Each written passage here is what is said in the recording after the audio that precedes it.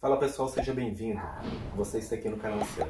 Hoje eu vim, né, aqui para estar tá tirando dúvida de algumas pessoas que me perguntaram como está espelhando o seu smartphone na tela de uma Smart TV sem a necessidade de cabos. Então, desse assunto que a gente vai falar, fica comigo até o final do vídeo, se inscreva no canal e deixe o seu like, é super importante, ajuda muito o canal a crescer, tá? Bom, gente, é, é o seguinte, tá? Eu não sei qual o smartphone né, para vocês aí que vocês têm que querem fazer o espelhamento da tela, né, do seu smartphone na Smart TV, tá? Eu vou estar tá fazendo o processo aqui com esse aqui, que é da fabricante Samsung, ok?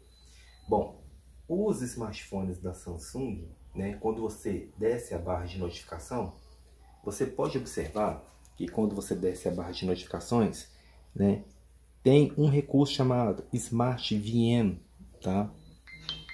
Não sei se vai dar para vocês observar que é bem esse aqui, tá? Quando vocês ativam ele, ele vai procurar pela sua Smart TV, tá? Quando encontrar, é só vocês clicar na Smart TV e clicar em iniciar.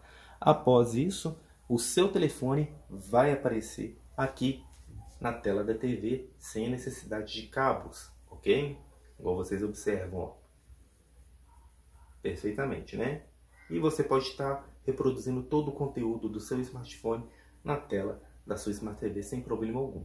Se você está, né, se vocês quiserem parar, né, o, o espelhamento, é muito simples. Vocês vão vir aqui, após descer a barra de notificações, vocês vão vir até aqui, ó, no mesma função e clicar.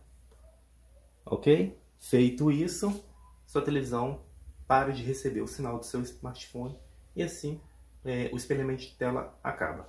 Ok? Eu vou ficando por aqui, espero muito poder ajudar de certa forma. E a gente se vê nesse mesmo canal numa outra super dica. Até a próxima, gente.